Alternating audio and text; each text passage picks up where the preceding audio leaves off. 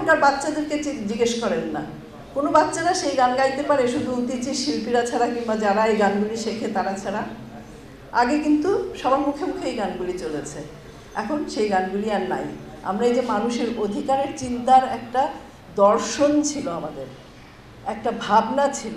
আমাদের যে একটা বিরাট প্রণোদনা ছিল মানুষের অধিকারের সঙ্গে থাকার, একসঙ্গে চলার। সেটা থেকে আমরা অনেক দূরে চলে গেছি। নির্বাচন আসছে, মাত্র দু মাস পরে নির্বাচন। কয়জন আমরা এখানটায় জানি যে আমাদের আমাদের প্রতিনিধির নামে কাকে বসিয়ে দেওয়া হবে?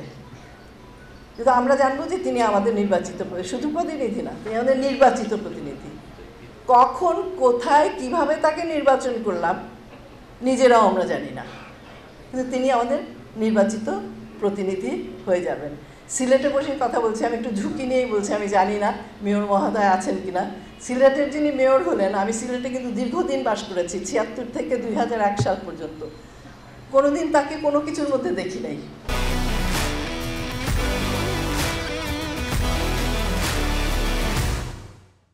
কিন্তু এখন তিনি আমার নগর পিতা।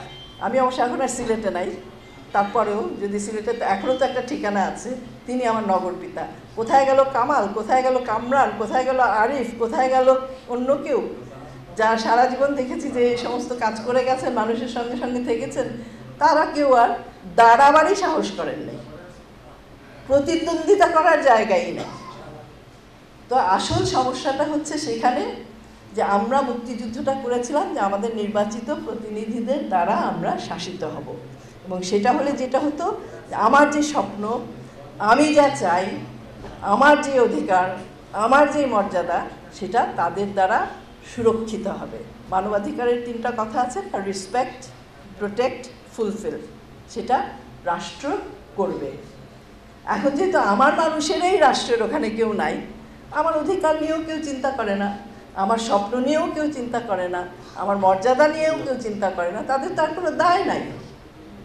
কারণ তাদের তাদের যদি দায় হতে হতো, তাদের তো আমার কাছে আসতে হতো।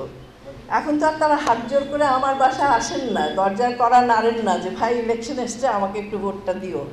আমাকে একটু সেবা করার সুযোগ দিও। আমাদের সেবা করার সুযোগও তারা চান না, সেবা করার দায়ও তারা বোধ করেন না। মূল কথাটা সেখানে। আজকে যারা এখানে রাজনৈতিক নেতারা আছেন, অত্যন্ত গুরুত্বপূর্ণ নেতারা আছেন, আপনাদের কাছে আমার নালিশ আছে।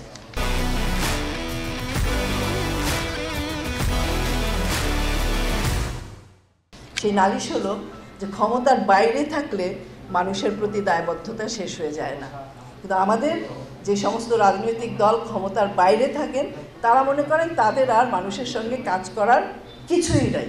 কিন্তু এখানে আওয়ামী লীগকে একটা প্রশংসা করতেই হয় যে আওয়ামী লীগ কিন্তু সেই ভাষা আন্দোলনের সময় থেকে শুরু করে এবং অন্যান্য কিছু বামপন্থী দল, আমি মণি সিংয়ের কথা এখানটায় মনে করব, তখন যে কমিউনিস্ট পার্টি ছিল যে নারীরা কমিউনিস্ট পার্টির হয়ে কাজ করেছেন, তারা প্রতি পদে পদে মানুষের সঙ্গে সঙ্গে হেঁটেছেন।